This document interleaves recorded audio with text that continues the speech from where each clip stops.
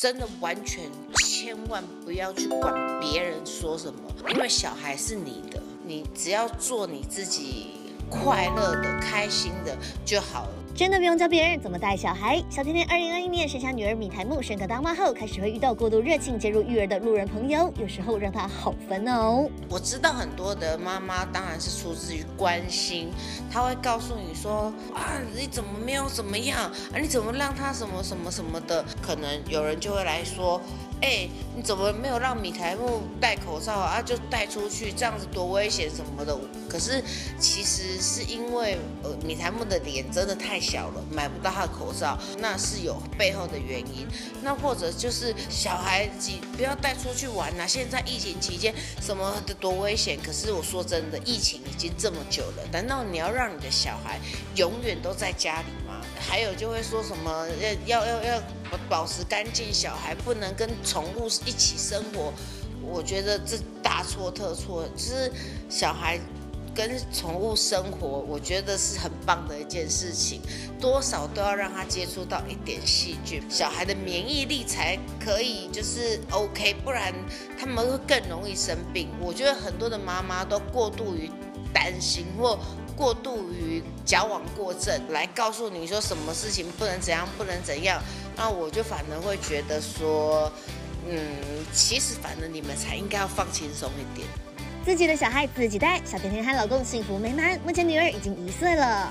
因为他一直以来都天使宝宝，所以我才会超级无敌想生第二胎，这真的超级想，这个想跟我想要得金钟奖一样想，真的超想。但他现在就是已经一岁。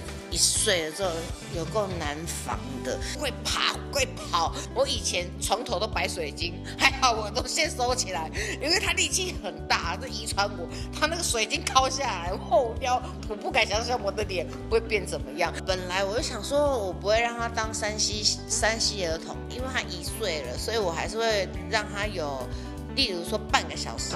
但是我真的很痛苦哎，因为永远都在同一集。鲨鱼爸爸，鲨鱼爸爸在哪里？在这里，在这里。然后我就想说，可不可以播下一集？他就还不要。然后我就想说，我都看到已经背到，我唱给你听好不好？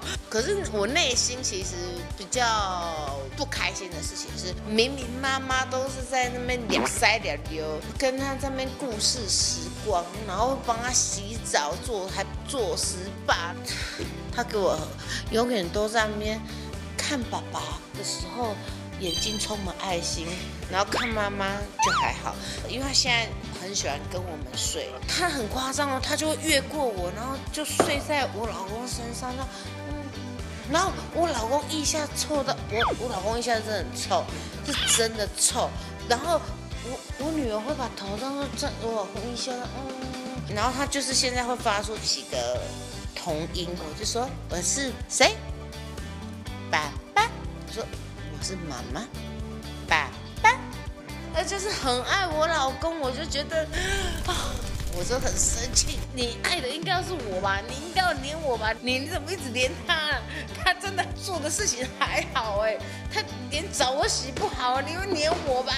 然后我就会其实就会有点吃醋。我老公觉得我心里有问题。他说：“你有没有需要去看医生？”